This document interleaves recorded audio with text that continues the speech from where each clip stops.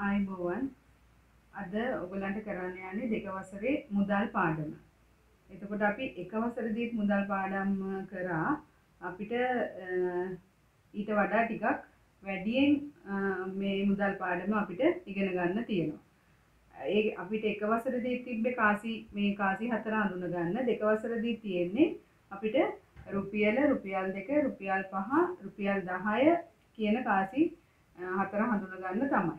හැබැයි එක වසරට වඩා මුදල් අපි බඩුවක් අරගෙන මුදල් දෙනකොට ගෙවන්න ඕන කාසි දිය යුතු ප්‍රමාණය පොඩ්ඩක් ඊට වඩා වෙනස් වෙනවා. ඒක වසරේදී අපි හරියටම රුපියලේ දෙයක් ගන්නවා නම් ටොපියක් රුපියල නම් රුපියලේ කාසිය දුන්නා. රුපියල් අඹ ගෙඩියක් රුපියල් පහ නම් අඹ ගෙඩියට රුපියල් පහේ කාසිය දීලා ගන්න පුළුවන්. දැන් ඊට වඩා ටිකක් අපි වැඩියෙන් ඉගෙන ගන්න වෙනවා. රුපියල් 7ක් 7ක දෙයක් ගන්න කොහොමද රුපියල් 10ක දෙයක් රුපියල් 12ක දෙයක් ගන්න කොහොමද කියලා අපි ඉගෙන ගන්න ඕනේ. එහෙනම් බලමු අපි දැන් අපිට ඉගෙන ගන්න තියෙන කාසි හතර අපි ආයෙ චුට්ටක් මතක් කරගමු. දැන් මෙතන තියෙනවා අපිට අඳුර ගන්න තියෙන කාසි. රුපියල රුපියල් 2 රුපියල් 5 රුපියල් 10. අපිට මේ කාසි හතරින් තමයි ගනුදෙනු කරන්න තියෙන්නේ. එතකොට මේ රුපියල අපි දන්නවා රුපියල කියන්නේ සත 100ක් කියලා.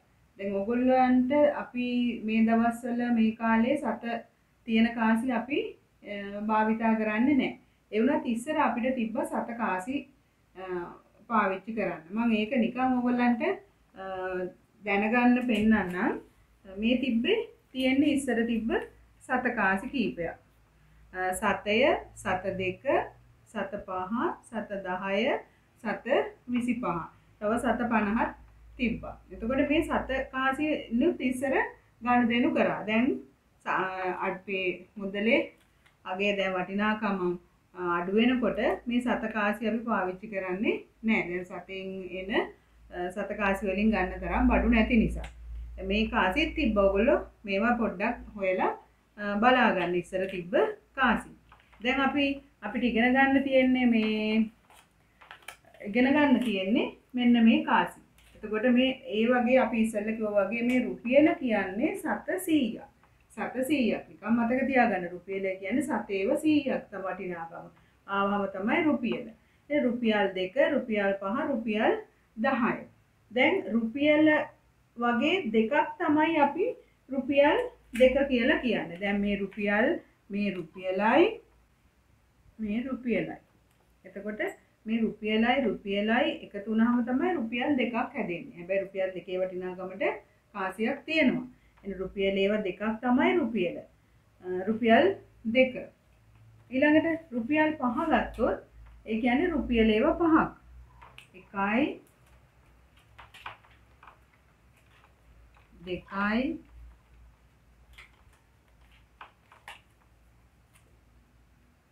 තුනයි හතරයි පහයි. එතකොට රුපියල් පහ කියන්නේ රුපියල් ඒවා පහක්. ඒ වගේම රුපියල් 10 කියන්නේ රුපියල් ඒවා 10ක්. අපිට ඕන ගාණක් රුපියලකින් දෙන්න පුළුවන්. ඕන ගාණක් රුපියලේ කාසි වලින් දෙන්න පුළුවන්. හැබැයි අපි හැමති අපිට ඒ වගේ ගොඩ කාසියකින් ගොඩාක් එක කාසියකින් ගොඩක් දෙනවට වඩා ලේසි අපිට ඊට වඩා මේ විශාල කාසි වලින් දෙන එකයි. මේකේ වටිනාකම් මම පෙන්නුවේ මේ රුපියල් පහ කියන්නේ රුපියල් ඒවා පහක එකතුවක් තමයි රුපියල් පහ කියන්නේ. දැන් රුපියල් 10 කියන්නේ රුපියල් ඒකාසි 10ක්. හැබැයි අපිට මේක රුපියල් ඒකාසි 10කිනුත් දෙන්න පුළුවන්. හැබැයි 10 හැදෙන විදිහට වෙනත් කාසි වලිනුත් දෙන්න පුළුවන්. දැන් අපි දන්නවා 10 හැදෙනවා 5යි 5යි 10යි කියලා. එහෙනම් අපිට පහේ කාසි දෙකක් වුණත් දෙන්න පුළුවන් 10 හැදෙන්න. අපි ඒක ඊට පස්සේ බලමු කොහොමද මේ විදිහට ගණන් හැදෙන්නේ කියලා. මම මේකේ පෙන්නුවේ මේ වටිනාකම රුපියල එතන රුපියල් දෙක කියන්නේ රුපියල් ඒව දෙකක් රුපියල් පහ කියන්නේ රුපියල් ඒව පහක් රුපියල් 10 කියන්නේ රුපියල් ඒව 10ක් වටිනාකම තමයි මේ තියෙන්නේ. දැන් මෙතන අපි භාණ්ඩ හතරක් දීලා තියෙනවා. ඇපල් ගෙඩිය රුපියලයි අඹ ගෙඩිය රුපියල් 5යි දොඩම් ගෙඩිය රුපියල් 2යි ගස්ලබු ගෙඩිය රුපියල් 10යි දැන් අපිට උවමනා කාසි ටික දීලා මේක ගන්න ඕනේ. එන ඇපල් ගෙඩිය ගන්න අපි රුපියල් ඒකාසිය දෙන්න ඕනේ.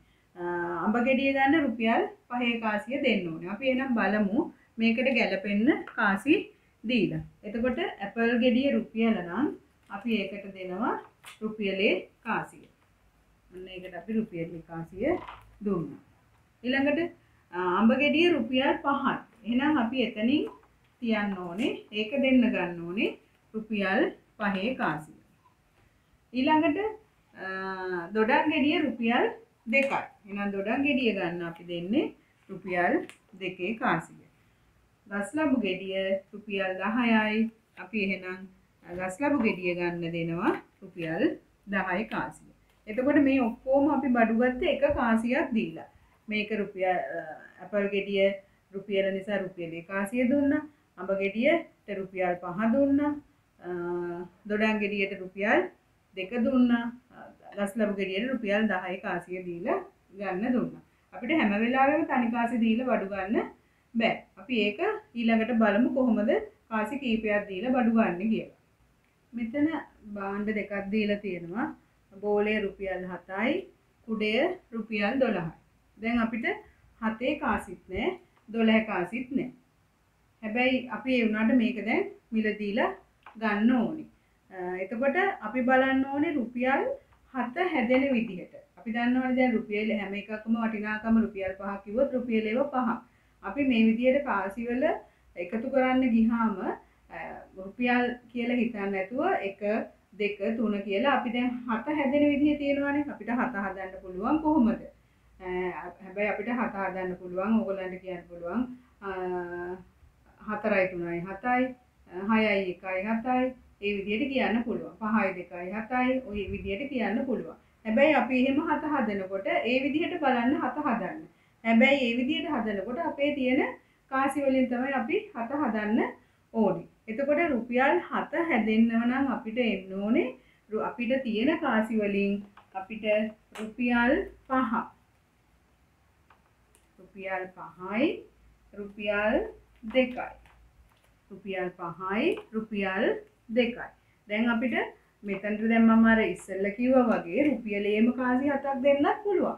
රුපියලේම කාසි හතක් දෙන්නත් පුළුවන්. අපි එහෙම දෙන්න ඕනේ හැමතිස්සෙම අපිට ඒ වගේ දිගට දෙන්න ගියාම අමාරු නිසා මෙහෙම අඳින්න ගියත් ලොකු යන නිසා අපිට ඊට වඩා ලේසි මෙහෙම මෙහෙම ඉගෙන ගන්න ඕනේ මොන කාසි දෙකක් එකතු කරොත්ද හත හැදෙන්නේ කියලා.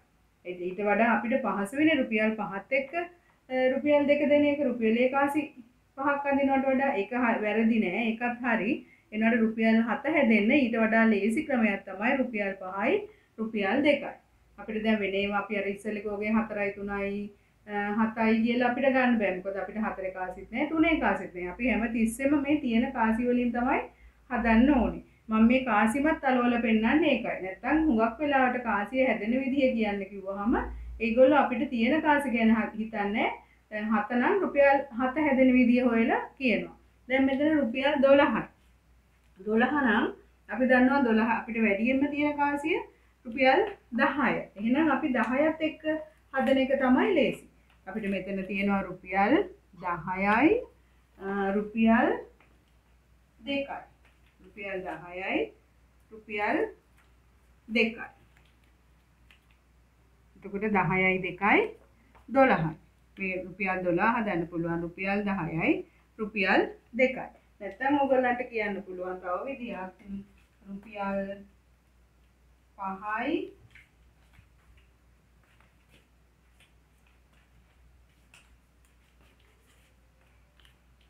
රුපියල් 5යි